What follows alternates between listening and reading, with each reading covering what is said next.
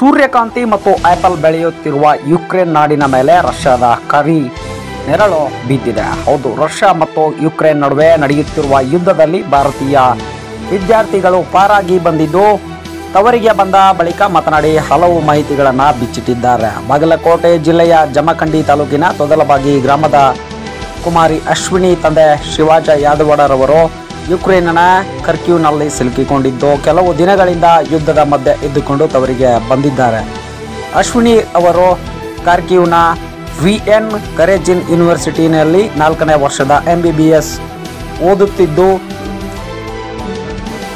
ಅಶ್ವಿನಿ ಯಾದವಾಡ್ ಅವರು ಹೇಳುವ ಪ್ರಕಾರ ನಾವು ನಾಲ್ಕು ದಿನಗಳವರೆಗೆ ಕಾರ್ಕ್ಯೂ ಬಂಕರ್ನಲ್ಲಿ ಇದ್ದೆವು. ಐದನೇ ದಿನಕ್ಕೆ ಕರ್ಕ್ಯೂನ ಮೆಟ್ರೋ ಸ್ಟೇಷನ್ದಲ್ಲಿ ಉಳಿದುಕೊಂಡೆವು. ಆರನೇ ದಿನಕ್ಕೆ ಅದೇ ನಗರದ ರೈಲ್ವೆ ಸ್ಟೇಷನ್ದಲ್ಲಿ ಕಾಲ ಕಳೆಯಬೇಕಾಗಿತ್ತು.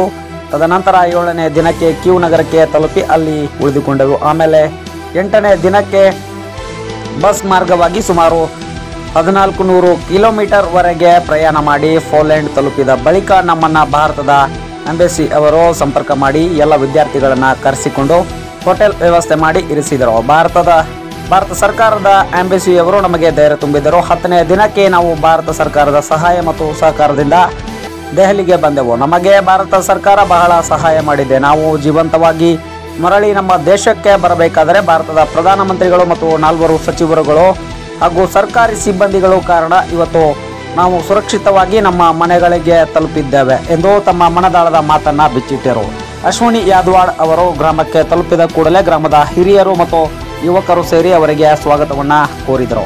Bureau report Shikharappa Sanasidda Jamkhandi.